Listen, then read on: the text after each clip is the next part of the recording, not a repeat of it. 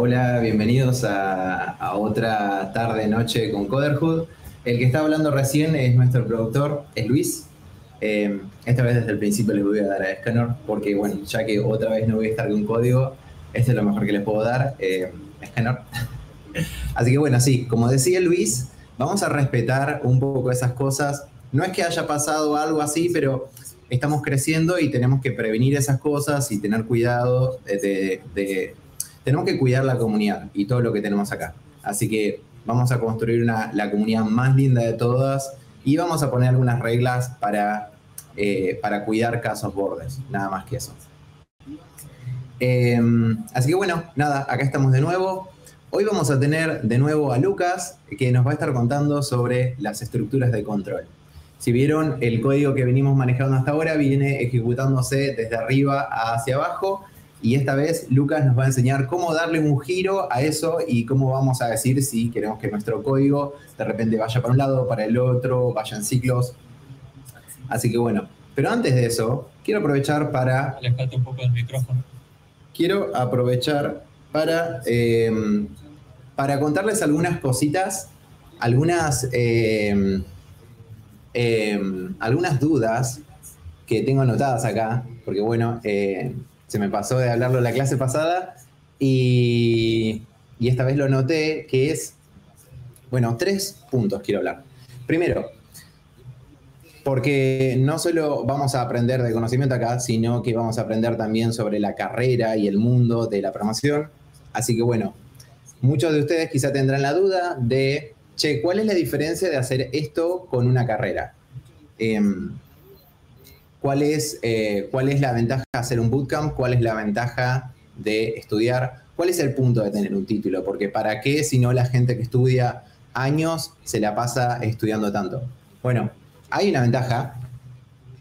Em, y es que cuando ustedes estudian una carrera en programación, Em, lo que va a hacer la facultad es darles una, vista general y inicial en un montón de distintas ramas. Ustedes van a encontrar que, em, que de repente hay un montón de ramas en el mundo de la tecnología, como decir, bueno, backend, frontend son las que conocemos hasta ahora, pero también está seguridad informática, em, desarrollo incluso de hardware, procesadores y cosas así. Tenemos eh, inteligencia artificial con data science, tenemos, eh, no sé, lo que quieras, desarrollo de sistemas operativos, desarrollo de lenguajes, eh, cantidad, cantidad, cantidad de cosas, desarrollo de gráficos. todo eso se puede empezar estudiando alguna de estas carreras como ingeniería en computación, ingeniería informática, licenciatura en sistemas. Cada una de estas nos va a dar como como el 10% o 20% que necesitas para hacer una carrera en alguno de esos ámbitos. La cosa es que cuando termines de estudiar eh, toda tu carrera vas a tener que especializarte para poder dedicarte a algo. Por ejemplo, digamos que ustedes quieren trabajar haciendo páginas web, o sea, haciendo desarrolladores front-end, van a tener que y, hicieran una carrera, el día que se reciban, en la facultad no les enseñan React y probablemente en su trabajo tengan que usar o React o Vue o, algún framework conocido. Entonces ustedes van a tener que recibirse y después aprender eso, especializarse en esa tecnología en particular. Eh, entonces la facultad lo que tiene bueno es que les va a dar una base súper sólida para que después ustedes elijan en lo que quieren meterse. Eso está súper bueno si ustedes no saben qué es lo que quieren, pero eso puede ser quizás eh, demasiado consumidor de tiempo si ustedes ya saben lo que quieren.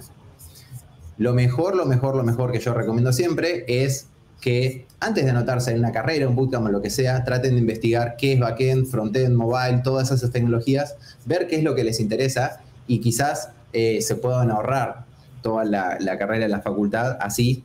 Pero si de repente ustedes dicen, la verdad que me apasiona la tecnología y, quiero entender cómo funciona el mundo de la tecnología y tener bases súper sólidas, la verdad es que súper conviene hacer una carrera en ese sentido, porque les va a dar un conocimiento para después desarrollarse en cualquier rama. Entonces me dirán, ah, pará, entonces si yo quiero, eh, si yo ya sé que quiero trabajar con servidores, o si yo ya sé que quiero hacer aplicaciones móviles, ¿no me sirve para nada el título? Más o menos, porque sí hay algo que en lo que sí le sirve un montón, y es eh, justo acá les quería hablar del peso del título. Habrán visto de que cada vez se empieza a pedir menos y menos el título en, carrera, en trabajos relacionados al mundo de la programación. Esto es una realidad de que a mí, por ejemplo, de las, no sé, debo haber trabajado en ocho empresas, más o menos, y nunca me pidieron el título, y ya a estas alturas ya no creo que me lo vayan a pedir. Y a la mayoría de mis amigos nunca les pidieron el título tampoco. Eso es porque en, está, en el mundo de la programación pertenece a la industria del conocimiento. Y en la industria del conocimiento lo que importa es el conocimiento. Así que si tenés forma de demostrar tu experiencia, y, que sabes lo que decís que sabes, por ejemplo, a través de un buen portfolio, ya no necesitas el título. El título es una de las tantas formas de demostrar lo que eh, que sabes. Pero bueno, hay otra forma de mostrarlo, como por ejemplo el portfolio y todo esto. Em, ahora, hay una cosa que nos da el título que no lo podemos conseguir de forma autodidacta y es el tema de la visa. Y esto quizás no es tan intuitivo y no lo sabes a menos que te lo diga alguien. Si ustedes tienen la meta de irse a vivir a otro país, probablemente les convenga hacer una carrera. Por el hecho de que em, si ustedes quieren ir a vivir, por ejemplo, a Noruega, ustedes van a necesitar una visa, eh, algo que se llama eh, visa sponsorship. Eh, entonces, si yo, si una empresa me quiere contratar a mí como programador para Noruega, ellos van a tener que sponsorearme la visa para que yo pueda entrar al país y quedarme a trabajar ahí como residente de ese país y en un futuro sacar la nacionalidad. Si no, me voy a poder quedar solamente lo que me permita eh, la visa de turista, pero si yo quiero quedarme trabajando y viviendo ahí y empezar una nueva vida en otro país, voy a necesitar el visa sponsorship que eso es una, una empresa dice, yo necesito de que Emma entre al país eh, porque Emma sabe un montón de cosas que gente noruega no sabe. Entonces necesito contratarlo. Y lo que hace la empresa es contactarse con el gobierno. Esto lo hacen solo empresas que tienen la capacidad de hacer visa sponsorship. No todas las empresas lo tienen, pero empresas grandes sí lo tienen. Por ejemplo, Google, Facebook, Apple, las grandes empresas tiene la posibilidad de hacer visa sponsorship y muchas otras empresas grandes también. Eh, entonces, por ejemplo, Spotify o Google, el que sea, me quiere contratar, él le va a hablar al gobierno y le va a decir, mira, yo necesito que, que Emma entre al país. Y el gobierno le va a decir, che, em, ok, ¿y quién es Emma? Y ahí es donde el título sirve. Porque si yo soy programador autodidacta, la empresa no le va a poder decirle al gobierno, no, Emma es un ingeniero de software y necesito que entre al país. Porque si le dice, ok, Emma es un ingeniero de software, el gobierno sí le va a pedir el título. Le va a decir, ah, ok, si Emma es un ingeniero de software, necesito que me lo demuestres. Y ahí es donde nosotros, como personas autodidactas, no vamos a poder demostrar. A menos que tengamos una trayectoria súper reconocida y en esos casos hay excepciones. Si ustedes logran volverse súper, súper, súper cracks, hay excepciones. Pero eh, hay veces que la forma más fácil es estudiar una carrera. Así que en ese sentido, esa es la, ah, la, la, única diferencia que les puedo decir. Si ustedes saben lo que quieren, si ustedes no saben lo que quieren y quieren meterse en la tecnología, hagan una carrera. Si ustedes quieren un trabajo en una tecnología en específica y ya saben lo que quieren, en este caso nosotros ya les contamos lo que le vamos a estar enseñando acá en este ciclo, ¿Saben que eso les sirve? Vengan por acá. Es lo más rápido. Es, no, no hay atajo más corto que este, que estar aprendiendo en un bootcamp con una comunidad, resolviendo ejercicios todos juntos. Esta es la forma más rápida.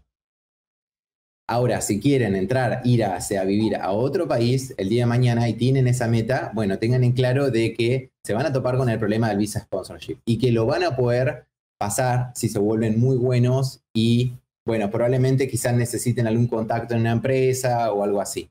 O sea, se puede pasar, pero bueno, van a tener que quizá tener más años de experiencia. No van a poder, sin título no pueden con dos años de experiencia irse a trabajar a Noruega. Eso se los tengo que decir desde ahora para que ustedes ya lo sepan. Si ustedes no tienen el título, van a tener que tener al menos cinco años de experiencia para aplicar a una visa sponsorship. Y la otra duda que venían planteando es sobre cómo funciona el proceso de las entrevistas. Y el proceso de las entrevistas eh, funciona así.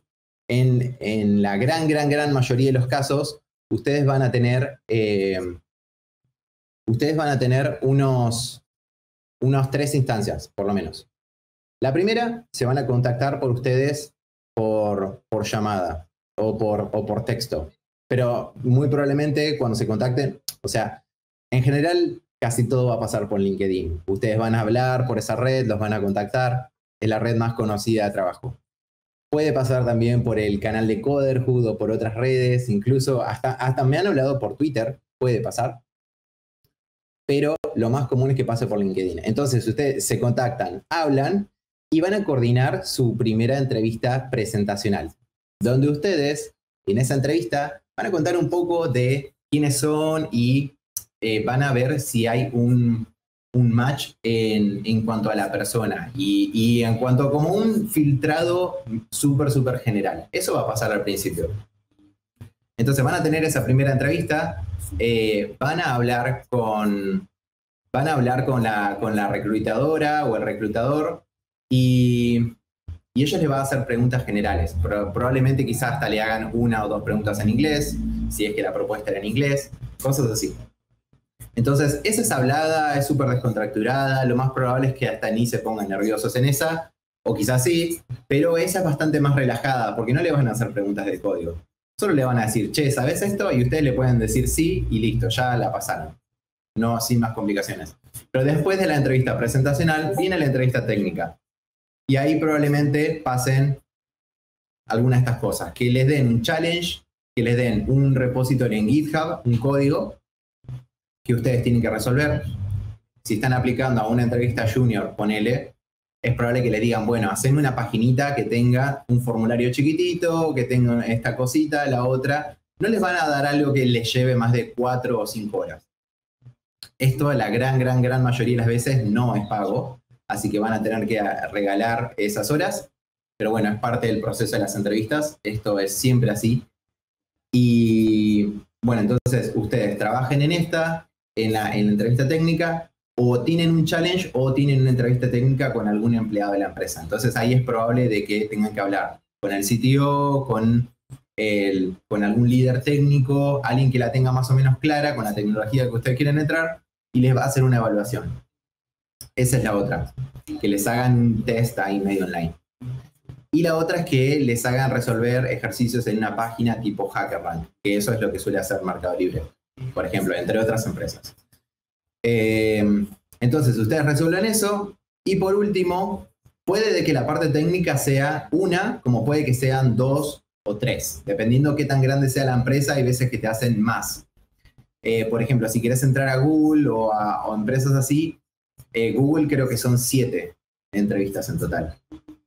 Lo que pasa es que también en el proceso de entrevistas van descartando otros empleados y van también tratando de detectar tu seniority, como qué tanto te, van a pagar, qué tanto encajas en un lugar o en el otro. En empresas, en su primer trabajo y en sus primeros trabajos en general, dudo muchísimo que sea más de una entrevista técnica. Yo lo máximo que tuve fueron dos entrevistas técnicas. Así que, así que bueno, entonces tiene la presentacional, la técnica y por último es la última que es medio la de negociación y la de cierre de trato. En esa ya, ustedes, si ustedes le mandan un mail y le dicen que pasaron la entrevista técnica, ya casi, casi que están. Queda una en la que van a hablar y esa es más como un fit cultural. ¿A qué se refiere con eso? ¿Se acuerdan lo que hablaba de las habilidades blandas? Bueno, en esa no le van a decir, pero les van a evaluar las habilidades blandas. O sea, van a hablar con ustedes y les van a hacer preguntas de la vida. Probablemente a veces tengan que hablar con el CTO, con el CTO o a veces hablan con el CEO.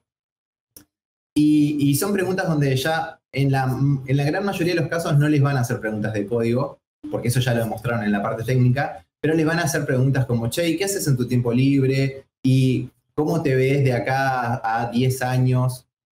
¿Qué es lo que más te gusta hacer? ¿Qué sé yo? preguntas medio pavas pero en las que tiene que tratar de demostrar de que no sé, soy una persona con la que querés trabajar. Es lo que querés demostrar en esa entrevista. Como, soy bueno, voy a ser bueno para tu equipo. Tenés que demostrar eso. Así que bueno, e, eso es el proceso de entrevistas y eso es un poco lo del, el peso del título y los beneficios que tiene a aprender de forma autodidacta. Se lo tenía que decir, lo tenía pendiente, así que bueno, ahí lo tienen.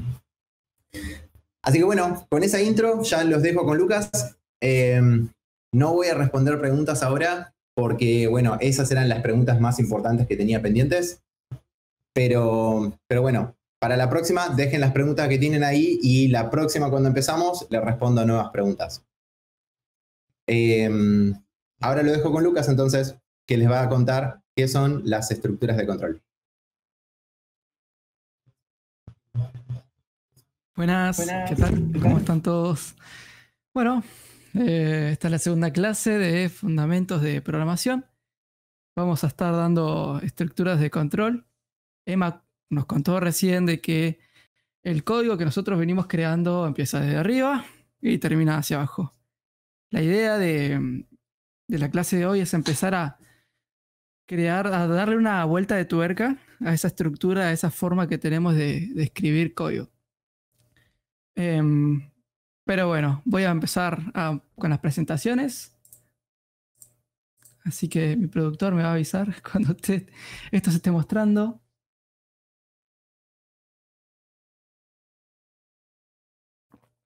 Bueno, bienvenidos a Fundamento de Programación, capítulo 2, la venganza.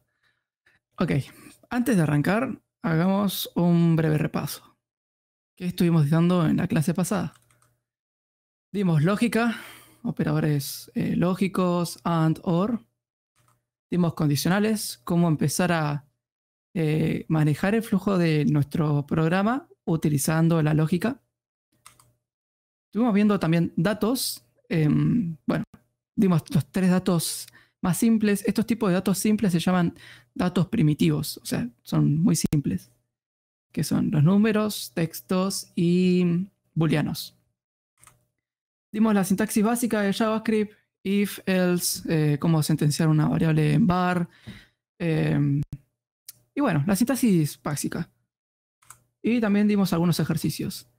Em, yo me había reservado un espacio de esta clase para hacer live coding, que sería mostrar la resolución de esos ejercicios en vivo, pero eh, pasó un efecto desde el jueves hasta hoy, que, dimos la, primera clase, y es que una barbaridad de gente estaba apoyándose. O sea, yo no, les puedo explicar la, alegría que me trajo ver cantidad de gente que estaba compartiendo.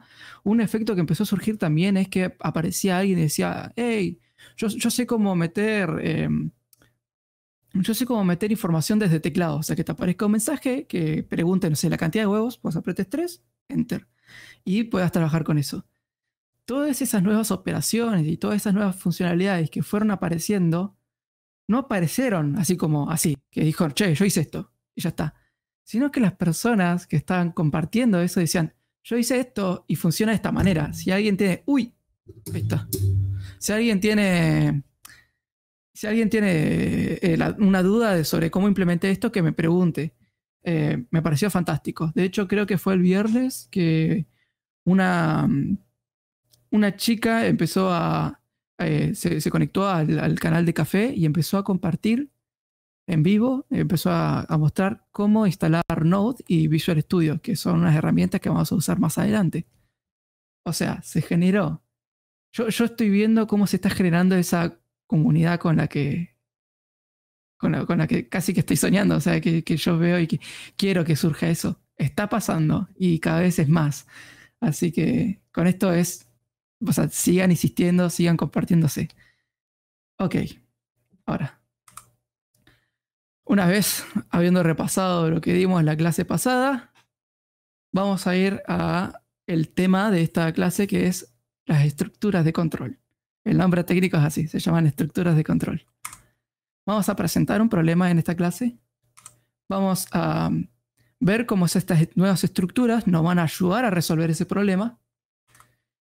Vamos a ver una opción, una, una solución para ese problema utilizando una estructura repetitiva llamada for. Vamos a ver otra solución al mismo problema con una estructura repetitiva que se llama while. Vamos a también tener un poco de cuidados, porque hay que tener cuidados con estas estructuras. Vamos a ver cuáles. Y vamos a ver también, bueno, un par de ejercicios. Ok, y ahora vamos a empezar a presentar el problema. Antes, agüita.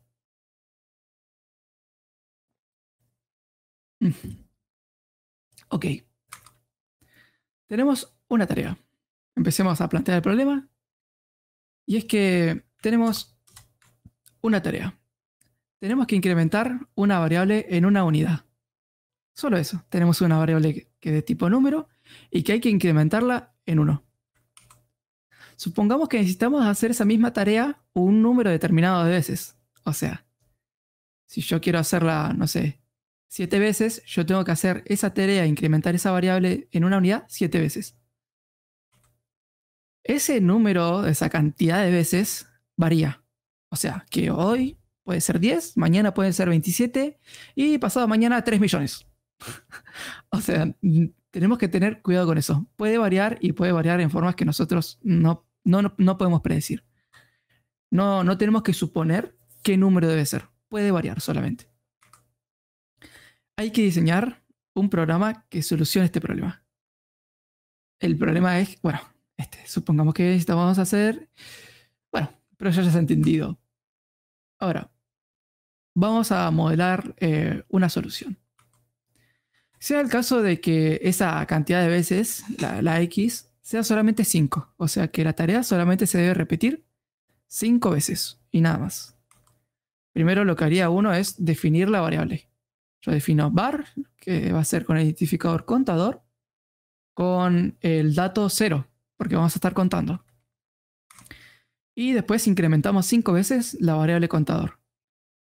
Y acá lo que hago es incrementarla, hacer esa tarea cinco veces. Una, dos, tres, cuatro, cinco. Perfecto. Y si yo después informo la variable contador, esto me va a devolver 5. Eso es correcto. Y es que esto está bien, o sea, esto es correcto, pero ¿qué pasa si tenemos que hacer la tarea, no sé, 100 veces? y acá nos empezamos a encontrar un poco de problema porque tenemos que volver al código y empezar a poner 100 veces esta instrucción. Entonces, vamos a ver cómo es que podemos empezar a afrontar una solución un poco más acorde. Y acá es donde entran las estructuras repetitivas, eh, que son, o sea, vienen al rescate, John. Y acá, bueno, volvamos a nuestro amigo el pseudocódigo y el que nos hace entender un poquito antes de saltar a la sintaxis de JavaScript. Lo que vamos a hacer es crear una nueva función en nuestro pseudocódigo.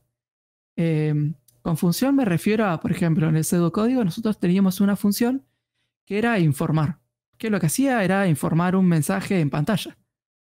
Ahora lo que queremos hacer es que nuestro pseudocódigo tenga otra función que sea la de repetir, repetir bloques de código. Nosotros antes teníamos, em, si yo voy al editor de texto, uy, esto lo voy a borrar. Si yo acá ponía, voy a hacerlo en zoom. Ahí va. Y yo tenía un if condición. Y habría un bloque de código. Todo lo que esté entre llaves es un bloque de código. Entonces, que yo tenga una instrucción que repite un bloque de código, lo que, ¿cómo se vería eso en pseudocódigo? Sería algo así. Ok. Lo que está haciendo mi programa de pseudocódigo es básicamente, primero definimos dos variables arriba. X, que sería la cantidad de veces que ese bloque de código se debería repetir. Y contador. Contador por ahora va a ser una variable auxiliar. O sea, va a ser el número de veces que yo voy a estar ejecutando la tarea de a una variable agregarle un 1. Bueno, ok. La, la función repetir en mi pseudocódigo funciona así. Primero, voy a poner repetir y adentro de las paréntesis de repetir le voy a poner un número. Entonces, lo que va a hacer esto es repetir este bloque de código tantas veces como ese número. O sea, si yo acá pongo 100, lo que va a hacer este código es hacer 100 veces esto. Entonces, si yo sumo 100 veces contador, a contador le sumo 100 veces 1, lo que estaría pasando es esto. Ese código imprimiría esto. Como yo tengo el informar adentro de la estructura que se va a repetir, ese informar se va a ejecutar varias veces. 100, de hecho. La primera, segunda, tercera, cuarta. Bueno, puntitos suspensivos porque son un montón. pero las últimas serían la 99 y la 100. Bueno. Empecemos a intentar traducir este modelo que está en pseudocódigo. Empezar a traducir, a traducir la función repetir del pseudocódigo a código de JavaScript. Ok. Eh, acá esto es una advertencia. Esto va a ser algo complicado, pero lo vamos a resolver. O sea, esto va a salir. Tiene que salir. ok. Bueno, primero, vamos a hacer algo similar a lo que hicimos antes.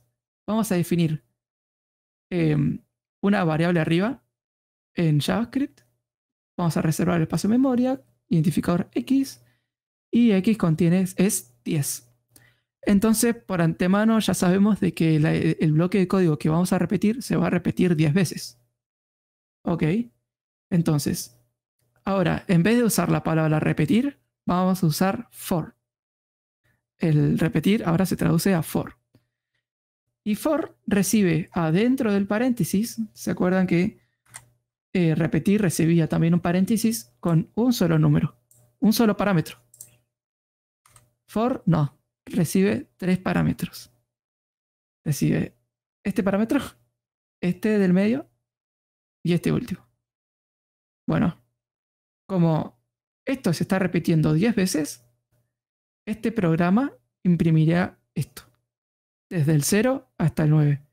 Pero vos me decís, che, eh, dijiste que se va a repetir 10 veces, ¿por qué llega hasta el 9? Bueno, es que el 0 también cuenta. 0 1, 2, 3, 4, 5, 6, 7, 8, 9. Del 0 al 9 hay 10 números.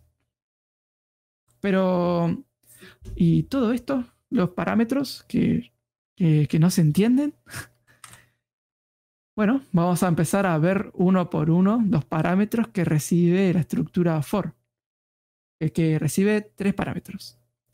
El primer parámetro que recibe es una instrucción que se va a ejecutar antes de empezar a repetir, o sea, antes de entrar a ese bucle donde vamos a empezar a repetir un bloque de código, vamos a definir, vamos a ejecutar una, instrucción. En este caso, lo que se hace es definir la variable auxiliar. Esta variable indica en el número de, repetición donde se encuentra. O sea, si nosotros repetimos de, de 0 a 10, cuando y eh, eh, sea 5, en realidad vamos a estar en la iteración número 4, porque venimos iterando desde 0. Sin embargo, si esto lo cambiamos por un 1 y hacemos desde 1 hasta 10, la el, cuando i sea 5, vamos a estar sobre la, la iteración 5. Pero en la informática siempre empezamos a contar desde el 0. Ok. Definimos esta variable auxiliar. Esta variable indica el número de la repetición. En este caso de este for, esto va a ser del 0 al 9. Y eso del 0 al 9, ahora lo voy a explicar un poco más adelante por qué del 0 al 9. Y es que antes de, en el segundo parámetro, el segundo parámetro lo que hace es, antes de cada repetición, realizamos esta comparación.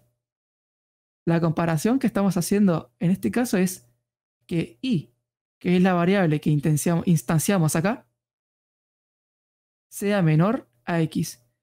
Esta condición tiene que ser verdadera para que la estructura for siga repitiéndose.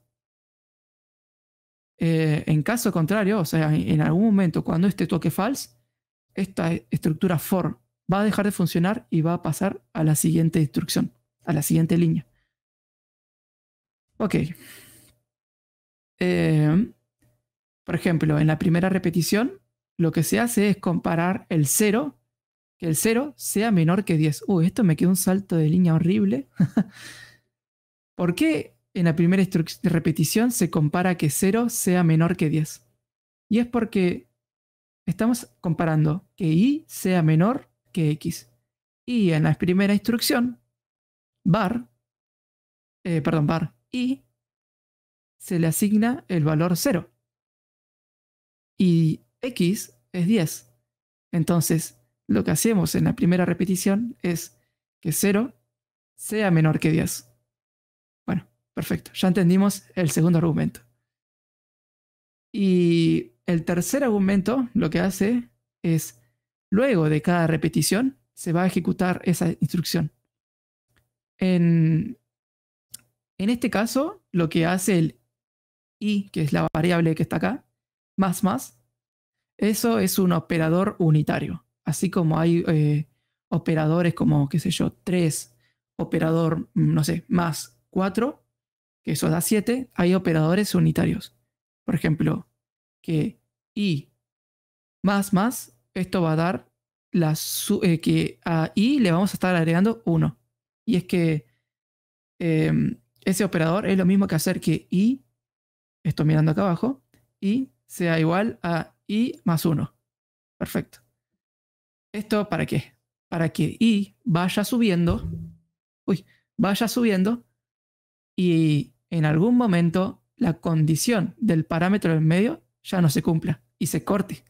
Porque necesitamos que se corte esa, ese, ese bucle. Bueno. Ahora, empecemos a jugar un poco con la estructura for y para eso vamos a abrir Code Sandbox y vamos a jugar un poquito. Yo ya tengo acá mi Code Sandbox preparado. Así que voy a abrir acá. Y lo primero que va a hacer va a ser primero definir var X, que es lo que venimos usando antes. X son la cantidad de repeticiones. Igual ahora lo voy a aclarar. Por ejemplo, que querramos definir 10. 10 repeticiones. Ok. Y esto va a ser igual a la cantidad de repeticiones. De, repeticiones. Ok. Y ahora vamos a tener una variable también auxiliar. Yo le voy a poner aux. Y esta variable lo que va a hacer va a ser contar las veces que vamos a repetir. Eh, esto va a arrancar en cero. Ok. Y ahora sí vamos a arrancar con la estructura for.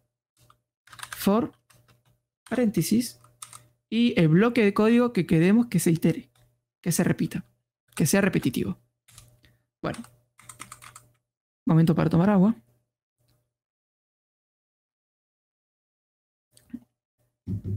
En el stream anterior no tomaba casi nada de agua y yo después noté que estaba con la voz muy seca, así que este voy a tomar mucho más. Ok. Ahora, adentro de for tenemos que pasar los tres parámetros que ya vimos antes. ¿Ok? Entonces, primero tenemos que definir, el, poner el primer parámetro y era instanciar una variable eh, antes que se ejecute todo esto. Entonces vamos a poner var y por convención es i. Si ustedes buscan estructura for en internet o algo así, van a ver que esa variable auxiliar siempre se la pone con i. i es igual a 0. Perfecto. Ahora, para pasar al siguiente parámetro ponemos un punto y coma y pasamos al siguiente parámetro. Donde acá sería la condición. Ok. Entonces, la condición que queremos es que i sea siempre menor que x donde x es 10. O sea, esto. x es 10. Bueno, para eso escribo. Y debe ser menor que 10. Ay, que x, que es 10. Bueno, y ahora pongo el tercer parámetro. Con, también con un punto y coma para pasar al siguiente parámetro. Y acá pongo eh, lo que debe suceder al final de cada iteración, que es y más más. Perfecto. Ahora, antes que nada, no me voy a olvidar, voy a ir acá arriba y voy a poner que se limpie la consola cada vez que se ejecuta el código.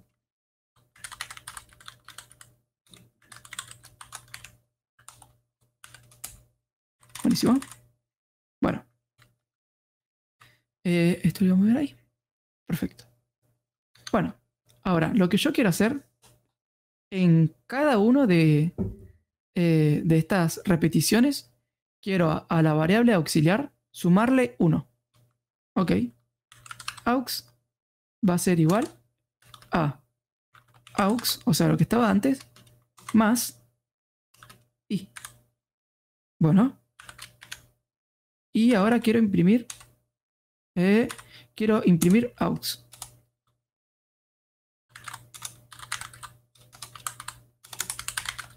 Ay, Dios.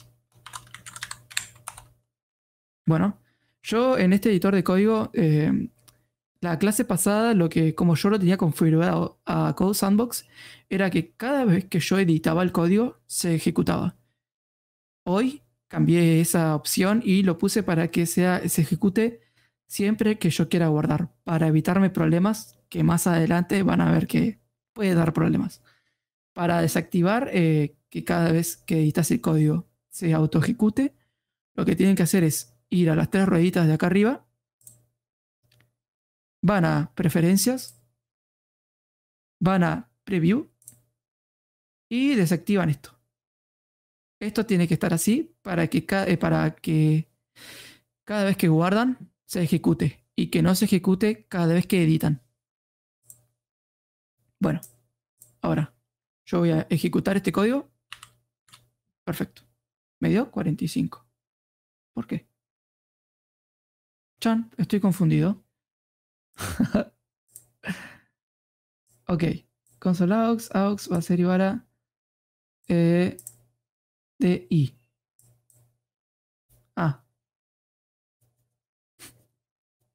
Creo que ya entendí.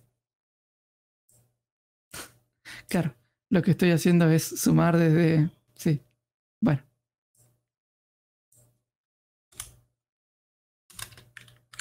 Ahí va. Eh, estaba... Hay dos. Va a ser igual a eh, aux más i. Claro, lo que yo quería hacer en este ejercicio era sumar todos los números que vayan desde 0 hasta 10. O sea, 0 más 1 va a dar 1, 1 más 2 va a dar 3, 3 más 4 va a dar 7, eh, y así. Bueno. Bueno, perfecto. Pero ¿por qué imprimía 9? Y es que yo tengo acá bar i, que va a ser i menor a x, eh, que, donde x es 10. Hmm. Ok, sí, tiene sentido. Está bien que imprima eso. ¿Por qué? Porque arranca desde el 0. ¿Y qué pasa si esto en vez de arrancar desde el 0, arrancamos desde el 1? Ah. Uh. A ver. También, creo que me estoy confundiendo en la lógica. Puede pasar. Bueno, ahora, veamos, imprimamos los números desde 5 hasta 10. Y acá voy a clavar un console log para ver cómo va cambiando i.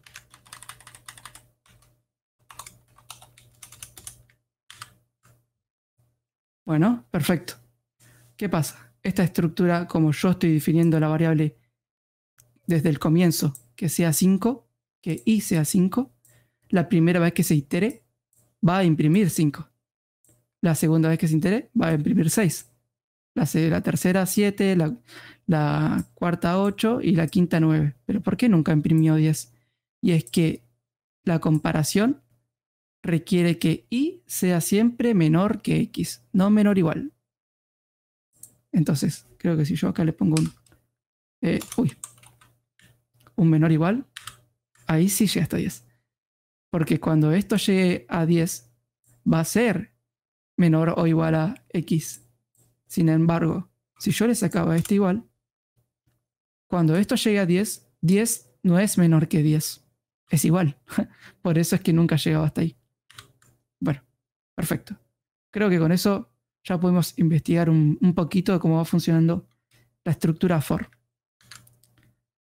Bueno, ahora, Eh, intentemos solucionar el problema del contador, el problema de las tareas que se debían repetir 100 veces con esta nueva herramienta. Antes de ver la solución que, existe, vamos a, vamos a intentar crearla. Para eso voy a borrar esto de acá. Bueno, vamos a arrancar de vuelta. Primero, vamos a tener una variable que va a ser la cantidad de veces que se debe repetir. Y esto va a ser igual a 100. Perfecto. Bueno. Y ahora vamos a tener una variable contador que va a ser igual a 0, porque vamos a empezar a contar desde el 0. Y vamos a empezar a crear la estructura repetitiva for. For. Acá vamos a poner la variable auxiliar que va a estar ayudándonos para saber qué número de iteración estamos usando. Bar y va a ser igual a 0. Perfecto. Y eh, acá vamos a poner la condición y debe ser menor o eh, menor que contador. Ah, menor que X. Ahí está. O sea, como arranca en cero, em, como arranca en cero, desde cero hasta el número anterior a 100, que es 99, desde 0 a 99 hay 100 números. ¿Ok? Y ahora pongo lo que se va a repetir al final de la repetición, que es sumarle una unidad ahí. Y más más. Perfecto. Ok, voy a abrir el código que se va a estar repitiendo. Y si nosotros volvemos a a la solución, al problema, tenemos que la tarea, una tarea. Y es que siempre debemos incrementar una variable en una unidad. Siempre. Ok. Vamos ahí. Ahora, contador, que está en cero. Como debemos sumarla cinco veces hacer esa misma rutina, lo que vamos a hacer es contador va a ser igual a el contador, que en este caso también es cero, más una unidad en la segunda repetición, contador, que es 1, va a ser igual a contador, que es 1, más 1, 2. Entonces, en la otra repetición, que contador es 2, va a ser igual a contador, que es 2, más 1, 3. Y así, 100 veces. Bueno, ahora lo que hago es imprimir el valor de contador. 100. Perfecto. Creo que ya pudimos solucionar el problema. El problema indicaba de que supongamos que necesitamos hacer esa misma tarea un número indeterminado de veces. Entonces, ese número indeterminado de veces, que era 100, ahora esto de 100 lo podemos cambiar por cualquiera. 16. Y si yo guardo, obviamente, va a dar 16. Ok. Y por ejemplo, 1000. Esto me va a reventar, creo, un poco la computadora. Nunca lo hice. No lo hagan. Ah, no, se lleva bien. Bueno, buenísimo. Eh, ¿Y 10.000? Bueno, lo hizo bien. No dije nada. Eh, uy, vieron algo que no debían ver. Ahí está. Eh, perfecto. Tenemos el problema solucionado con la estructura for. Eh, Vamos para, adelante. Ahí va. Eh, no. Ok, veamos un ejemplo más. Y ahora deberíamos poder ver la solución. Si comparamos, eh, es el mismo código. Es exactamente el mismo código. Bueno, pero ¿hay alguna otra forma de solucionar eh, esto? sí, yo creo que sí. Vamos a ver. Y es que acá eh, eh, mostramos otra estructura. Eh, ok, hasta ahora resolvimos con nuestra solución. Otra vez a nuestro pseudocódigo. Ah, ok. Sí, antes de presentar la estructura en JavaScript, la nueva estructura en JavaScript, vamos a presentarla en pseudocódigo para que sea un poquito más intuitivo. y la instrucción que le vamos a agregar al pseudocódigo, a nuestro pseudocódigo, es la instrucción mientras. Y mientras, ok, primero, vamos despacito. Definimos la variable de la cantidad de veces que, que queremos que se repita, x, arriba del todo. Y definimos también contador, arriba del todo. Ok, y mientras, ¿cómo funciona? Es que adentro recibe una condición. Una condición como lo puede recibir un if. Esto siempre devuelve un valor booleano. ¿Por qué? Porque preguntar que contador sea menor que x devuelve un sí o no, valores booleanos. Entonces, la estructura, la función mientras en mi pseudocódigo recibe también por parámetro, o sea, debemos también mandarle un valor booleano. Bueno, perfecto. Lo que estamos, eh, lo que, lo que pasa con el mientras, a diferencia del otro, es que eh, el mientras, esto, todo esto se va a estar ejecutando siempre que se cumpla esta condición. O sea, nosotros en la estructura anterior queríamos repetir cierta cantidad de veces. Pero con el mientras podemos repetir hasta que algo suceda. O sea, eso está buenísimo. Bueno, veamos eh, de intentar resolver el mismo problema que, que resolvimos con for. Me tomo un tiempito para tomar agua.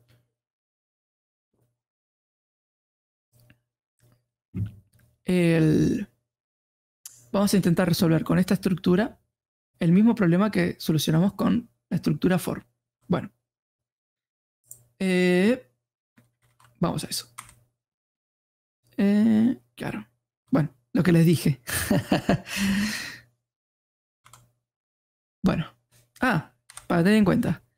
Eh, en, esta en esta estructura, mientras, no necesitamos una variable auxiliar como necesitamos en el for. Si ustedes van al for de, al for de JavaScript, necesitamos una variable auxiliar que nos vaya contando el número de la repetición. En caso de mientras, no la necesitamos. Ok, esta es como les presento la estructura while en JavaScript. Primero, definimos la cantidad de veces que vamos a repetir, eh, que vamos a repetirlo con x. De vuelta, lo mismo. Vamos a repetirla 10 veces. Y vamos a definir la variable contador también en cero. Y vamos a escribir ya, ahora sí, la estructura eh, mientras. Ok lo mismo. Mientras una condición que recibe un valor booleano, o sea, sí o no, una condición que está preguntando, contador, ¿es menor que x? En la primera iteración vamos a ver qué sucede en la primera repetición. Contador, ¿qué es 0? ¿Es menor que x? ¿Que x es 10? Sí, eso es cierto. Entonces acaba de devolver un verdadero, un true, y va a ejecutar ese bloque de código. Pero hay que hacer algo para que esto se detenga en algún momento, que detenga de iterarse, de repetirse. Primero que nada, yo voy a informar contador para ver cómo va el estado de contador a lo largo de todas las repeticiones. Buenísimo. Y abajo de ese informar del contador voy a poner que contador va a ser igual al contador más una unidad. Entonces, veamos más o menos cómo se podría ir pasito a pasito eh, informando el contador. Primero, entra, contador es cero. Así que informamos contador. Y sale esto. Se informa cero. Voy a hacer un zoom in. ¿Puedo hacer otro? Sí. Ahí va. Eh, la primera vez que se itera va a eh, informar contador y contador es cero. La segunda vez que se itera, contador ya se incrementó en 1. Entonces, cuando entre acá contador otra vez, va a imprimir un 1. Ok, y en la siguiente instrucción, a 1 se le suma 2. Eh, se le, a 2, ah, perdón, a 1 se le suma 1 y nos da 2. Ok, volvemos para arriba e informamos contador. 2. Y así. 2 más 1, 3. Informamos 3. 3 más 1, 4. Informamos 4. Y así hasta llegar al 9. Eh, ¿Por qué hasta el 9? Y es que cuando, por ejemplo, veamos el caso 8. Contador entra acá, informamos 8. Ok, se informa 8. 8, contador ahora va a ser 8 más 9. Ok. 10. Eh, perdón, 8. Eh, ay, me mareé. 8. eh, vamos en el caso de 8. Informamos 8, pasa abajo. 8 más 1, 9. Perfecto. Y ahora, 9 entra acá y 9 es menor que X. Sí. Entonces, informamos, ah, esto creo que lo hice mal. Sí, me parece que esta, esta imagen está mal. Después le vuelvo a subir, les pido disculpas que me despiste, pero creo que está mal. Pero bueno, al final imprimiría, bueno, todo lo que sumó, que es hasta 10. Esto después lo voy a arreglar y lo voy a volver a subir al PDF. Esto podía pasar. Bueno, veamos un par de ejemplos más también utilizando la estructura, la nueva estructura while. Para eso vamos a ir hasta acá arriba. Vamos a definir de vuelta la variable de la cantidad de veces que queremos iterar x va a ser igual a, no sé, queremos iterar 10 veces, sí. Y la variable auxiliar, que va a ser 0. Lo voy a poner contador, porque veníamos usando contador. Ok. Y ahora voy a definir la estructura de control while. While. Y esto recibe solamente una condición booleana. Y lo que yo quiero es que contador sea siempre menor que x.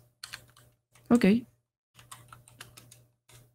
Y acá voy a imprimir por ejemplo, eh, dentro del código de la estructura voy a primero poner que imprimir eh, el contador, o sea, console.log contador. Y abajo de eso le voy a incrementar un valor a contador. Y acá me voy a poner algo canchero y voy a usar esto. Contador más. Esto es eh, lo que hace es, bueno, lo vimos anteriormente, le suma en una unidad a contador. Buenísimo. Eh, contador. Ah, claro. Esto estaba ahí, me asustó, pero no, es que era del código anterior. Todavía porque no lo ejecuté. Bueno, y ahora vamos a imprimir. Final. Y al lado final vamos a imprimir contador. Veamos que nos devuelve esto. Perfecto. Ah, mira, no estaba mal. ¿Estaba mal? es cierto, no estaba mal. Bueno, copado. Eh, bueno, veamos un caso eh, por ahí más borderline, o sea, casos donde tengamos que iterar mucho. Bueno, primero vamos a arrancar con 100. Uf. ¿Vieron cómo se fue la ruedita hacia abajo? Y le costó ir hacia abajo. Bueno. ¿Qué pasa si yo ahora a 100.000, en verdad lo que quiero hacer es agregarle otro más? Vamos a limpiar la consola. Y ahora vamos a iterar mil veces. Miren cómo carga esa barra y sigue cargando y tarda y le cuesta y le cuesta. Y sigue. Fua. Y tardó un montón. Recién ahí terminó. Ok. ¿Y qué pasa si yo ahora le doy 5000? 5000 veces que se repita. Miren cómo está tardando. O sea, mi computadora ahora me está pidiendo por favor clemencia. dice, usaste todo el día y, o sea, se, está se está muriendo. Esto sigue y va a seguir, va a seguir, va a seguir. Por un buen rato. De hecho, recién va por el 1000 y ya se está trabando. Cada vez incrementa más despacio. No, no, o sea, esto es ¿Y qué pasa si yo quiero parar esto? Mirá, sigue. Increíble. Y estos son los cuidados que hay que tener con la estructura while. Em, y veamos un caso más peligroso todavía. Cuando suceden estos casos, y voy a sacar la pantalla completa para poder hacer un F5, porque voy a tener que reiniciar esta página en algún momento. Veamos en algún momento. ¿Esto sigue ahí? ¿Esto sigue ejecutándose? Sí, sigue ejecutándose. Bueno, voy a darle un ratito mientras voy a tomar agua. Mientras mi computadora eh, se prende fuego. La estoy viendo ahí prendiéndose fuego. Ah, ok, esto sigue. Sí, pero le falta poco. Ok. Terminó. ¿Qué pasó acá? Nosotros le dimos una cantidad de iteraciones bárbaras y tardó muchos segundos. O sea, hay que tener cuidado con esas estructuras. Intentemos que no se pasen de, las iteraciones. O sea, cada vez que iteremos tratemos de ser responsables de las cosas que estamos iterando. ¿Qué hubiese pasado si yo a este contador, a esta línea contador, nunca la hubiese puesto? Y siempre hubiese estado contando que contador sea menor que X, pero contador nunca se incrementa. O sea que contador jamás iba a llegar al valor de X.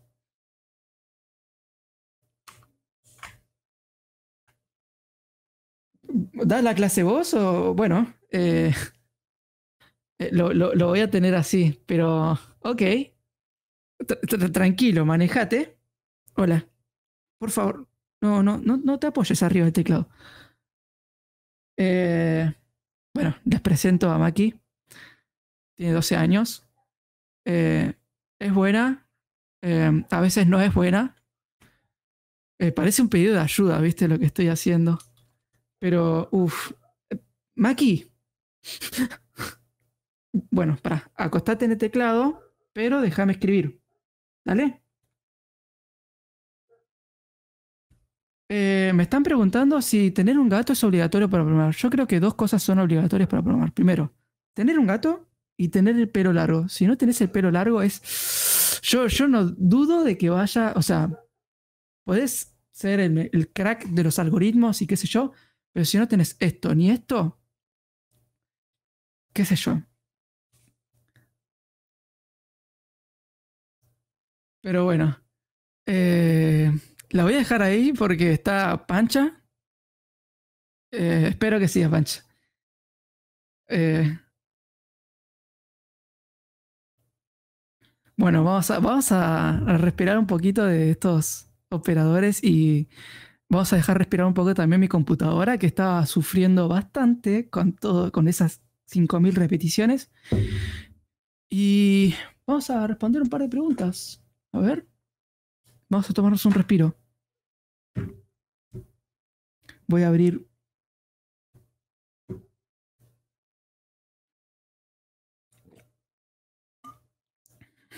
Ah, ya me estoy quedando sin agua. Bueno. Eh, estoy yendo a leer las preguntas.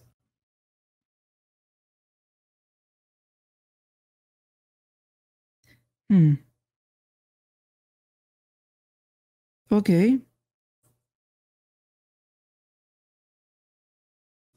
Eh, ¿Por qué se usa la salida por consola en lugar de salir directamente al HTML? Eso no me queda claro. Perdón.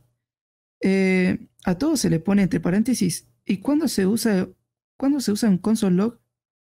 Y cuando se usa un console log, ¿qué clase de información estamos mandando? Ok.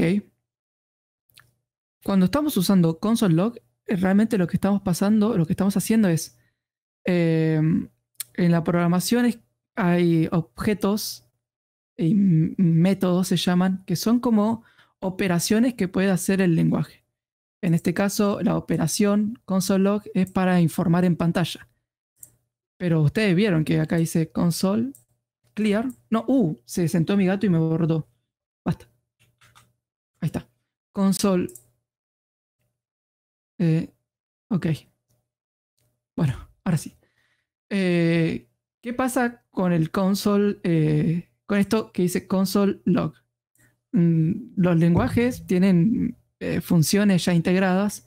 Una de las funciones es la de mostrar en la consola información. Podemos mandar cualquier tipo de información, ¿no es cierto? De hecho, se pueden mandar hasta funciones, objetos. Y mm, lo que hacemos es console.log para loguear en la consola este mensaje. Ok. Y console.clear, yo creo que es bastante descriptivo. A la consola, limpiala. Ok.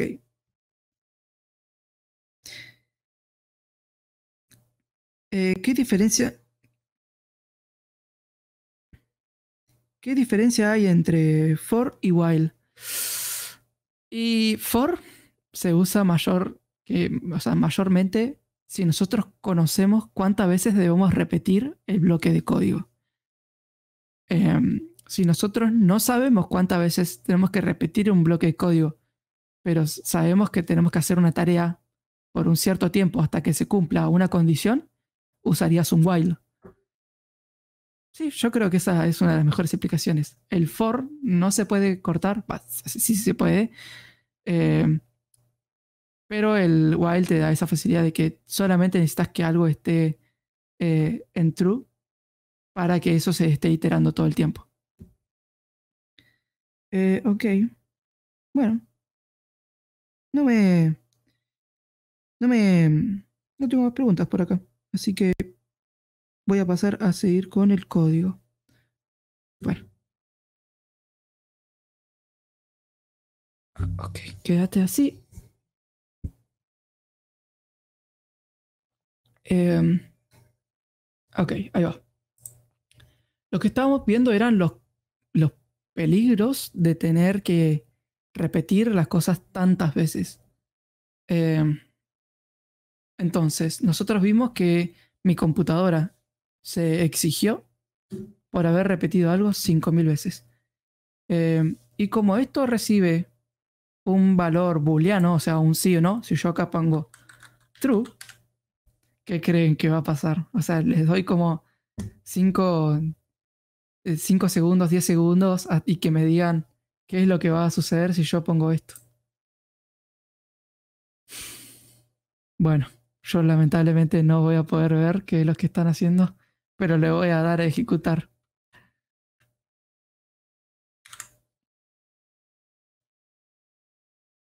Bueno. Si ustedes ven a la cara derecha, está empezando a subir eso infinitamente. Y nada, esto, o sea, puede llegar a diciembre y esto va a seguir así. Esto es un problema.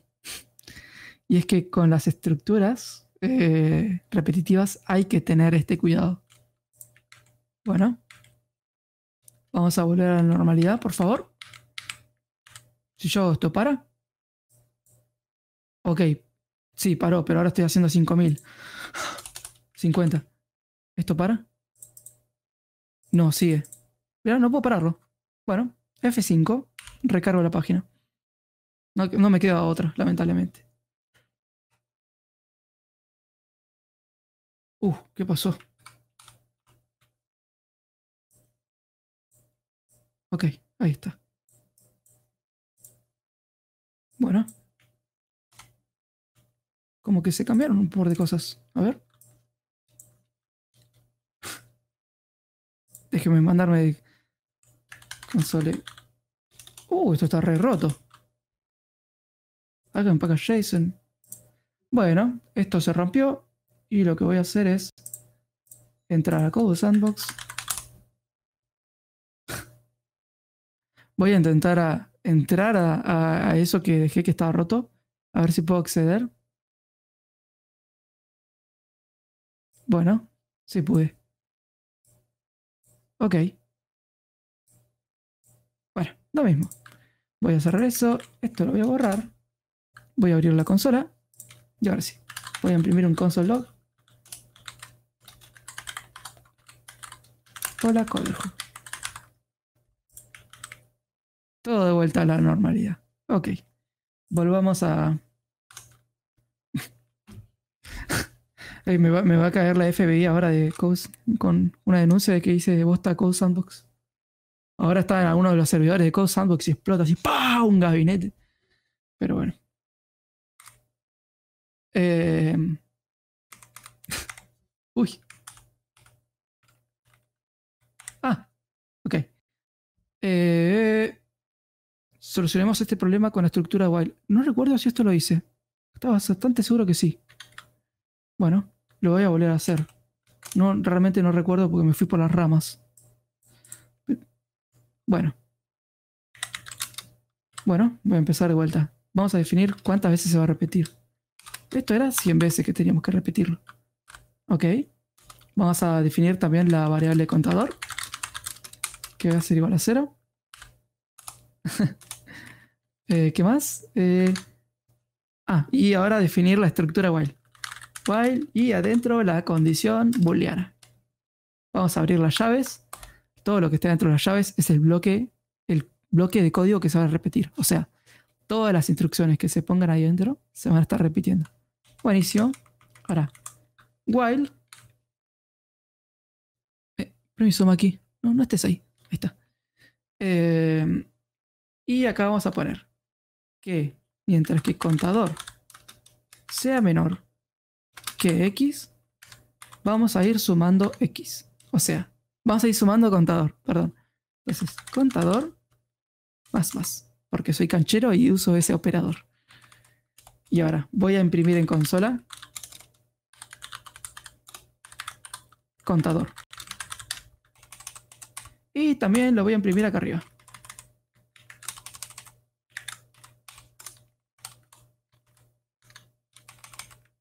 Y acá arriba de todo, como siempre, voy a poner el console.clear para que me limpie la consola antes de ejecutarse.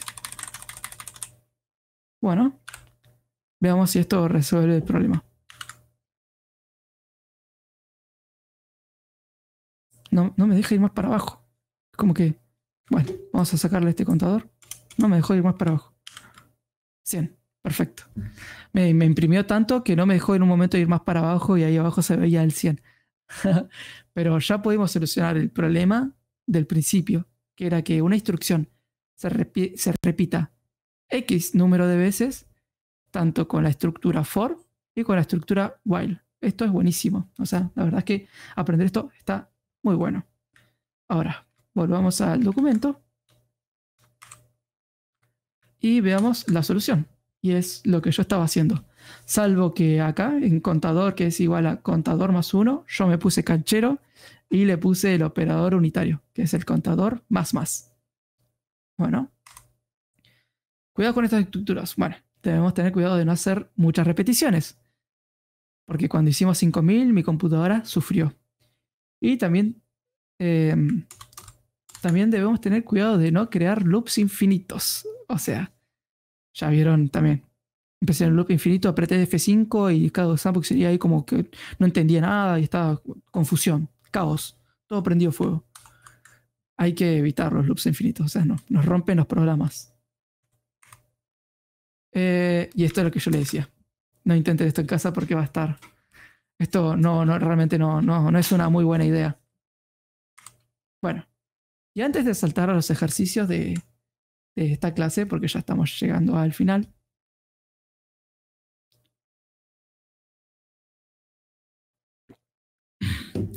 Antes de saltar los ejercicios, veamos cómo utilizar el operador eh, residuo. Se llama así, creo. Este operador nos devuelve el, el, el resto. Operador resto se llama, perdón. Nos devuelve el resto de la división de dos números. O sea, Así como nosotros tenemos operadores que suman y que restan, por ejemplo, un número sumado a otro número va a dar otro número. Un número restado otro número también va a dar otro número. Un número multiplicado por otro número también va a dar otro número. Más, menos, eh, multiplicación y división son todos operadores. Y hay otro operador que es este, que es el resto, el operador del resto. El operador del resto lo que dice básicamente es si yo tengo dos números, lo que voy a hacer es que a la división de esos le la división, me cuesta explicarlo esto. De hecho, cuando estaba creando me costó explicarlo. Si alguien encuentra una explicación mejor, o sea, bienvenida sea. Pero básicamente lo que es es, primero buscamos el número, este, si está el de la izquierda, buscamos el número eh, más cercano múltiplo del número de la derecha. En, este caso, 8, porque 8 se puede dividir por 2. Entonces, eh, que es este, el 8. Y ahora calculamos la diferencia entre 9 y 8, que es 1. Entonces, 9 resto de 2 nos va a dar 1. Si yo imprimo.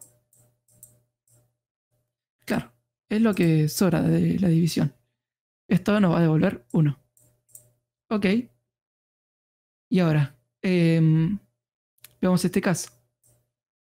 El múltiplo más cercano de 5 es de, de 13 que divida 5 es 10. 10. Y 13 menos 10 va a dar el resto de 3. Entonces, hacer que 13 resto de 5 nos va a devolver 3. Buenísimo. Lo mismo con el 8. Sucede lo mismo. ¿Por qué esto es útil? ¿Y por qué lo presentamos de una, forma tan random? Así. Y es que podemos reconocer cuando los números son pares con este operador. Veamos, por ejemplo. Eh, primero defino una variable. Es 9 par. La variable se llama es 9 par. Y este es 9 par va a ser igual a 9 resto de 2. Y que 9 resto de 2 igualado estrictamente a 0. O sea, como acá hay una comparación, esto va a devolver un valor verdadero o falso, true o false. Veamos. ¿Cuál es el, el... Si nosotros volvemos para atrás, vemos que el resto de 9 con 2 da 1. Entonces, todo esto da 1. Y 1 es igual a 0. No. Entonces, imprimir que si el número 9 es par, es falso, porque no lo es. Entonces, veamos el ejemplo contrario. Voy a poner una, también definir una variable. Es 4 par. Nosotros ya sabemos que 4 es un número eh, par. Pero ¿cómo podríamos saber eso o sea, con, con instrucciones de, de, con operadores? Primero, hacemos el resto de ese número con 2. Obligadamente con 2. O sea, 4 dividido 2 es 0. Y el resto es 0. O sea, esto no va a devolver que 0 y comparado estrictamente con 0 es verdadero. Entonces, ¿el número 4 es par? Sí, es par. O sea, eso es verdadero. Entonces, cualquier número residuo de 2 y el resultado comparado con 0 nos va a devolver un valor booleano que representa si ese número es par o no es par. Ok. Y acá ya estamos llegando al final de la clase y vamos a dar eh, ejercicios. Yo hice tres ejercicios. Este pares, este es uno de los más sencillos donde les hago hacer, bueno, sea una variable numérica entera y positiva llamada límite, hay que recorrer desde 0 hasta límite. O sea, si límite es 5, hay que recorrer desde 0 hasta 5. Y imprimir en pantalla los números pares. No la cantidad de los números pares, sino los números pares. Después, el, el segundo ejercicio se va a complicar. Obviamente que se va a complicar. Y el tercer ejercicio va a estar un poquito más complicado, y eh, bueno, yo en la clase pasada les dejé tres, pero esta vez como vi que hicieron mucho, les dejo uno más complejo. Hacer la secuencia de Fibonacci. Para los que no sepan, la secuencia de Fibonacci es una sucesión. Y la, sucesión es, bueno, es, infinita y que tiene esta particularidad. Eh, la sucesión va a comenzar con los números 0 y 1. O sea, el primer término es 0 y el segundo término es 1. Y a partir de estos dos, todos los términos siguientes van a ser la suma de sus dos términos anteriores. Los términos son estos, en las posiciones. Esto es un término, esto es otro, esto es otro, y esto es otro, y esto es esto. Ok. Em, entonces, arranco con estos dos. Y a partir de esto, cada término que le sigue es una suma de los dos anteriores. O sea que 1 es 1 porque 1 más 0 es 1. Ok. El siguiente es 2 porque 1 más 1 es 2. Y el siguiente 3 es 3 porque 1 más 2 es 3. 5 es 5 porque 2 más 3 es 5. Y así, infinitamente. Este es un ejercicio medio complicadito. Si alguien lo hace, es un crack, la verdad. Súbanlo. Eh, y creo que. Ah, mira, llegamos al final de la clase. Acá les dejo un par de fuentes donde leer un poquito más de todo lo que comentamos en la clase. Eh, así que vamos a hablar al principio y ya nos empezamos a despedir.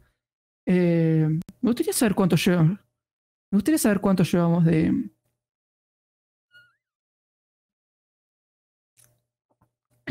Me gustaría saber cuánto llevamos de stream. A ver.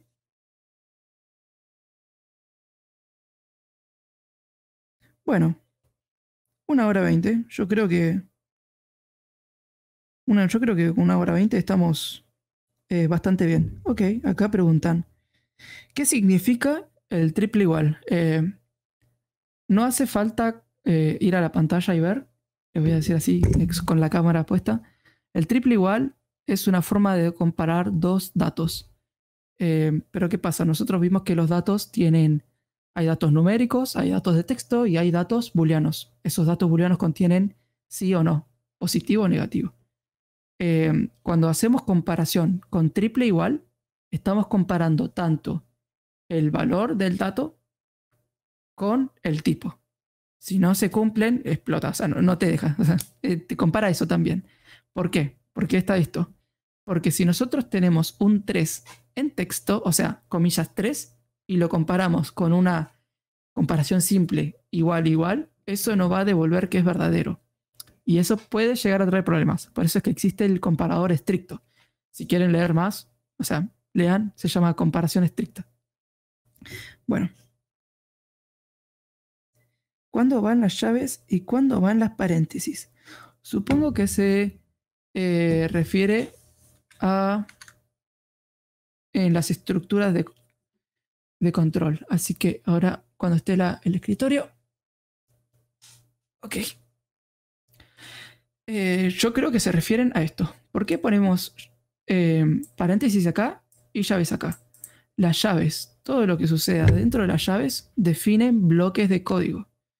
Los bloques de código, eh, si nosotros hacemos memoria a la primera clase cuando veíamos el diagrama, que por ejemplo iba bajando el flujo del algoritmo y se dividía en dos, porque podían pasar dos cosas después de una condición. Esa división es el, o sea, se separa un, eh, se separa una parte del algoritmo. Eh, lo, mismo hacemos acá. Con, con, el paréntesis separamos un parte de ese algoritmo. Y las paréntesis están para eh, bueno, para pasar por para pasarle información al while. O sea, el while necesita, dentro de su paréntesis, dentro del parámetro, una condición. Creo que eso responde. A ver si hay alguna otra pregunta.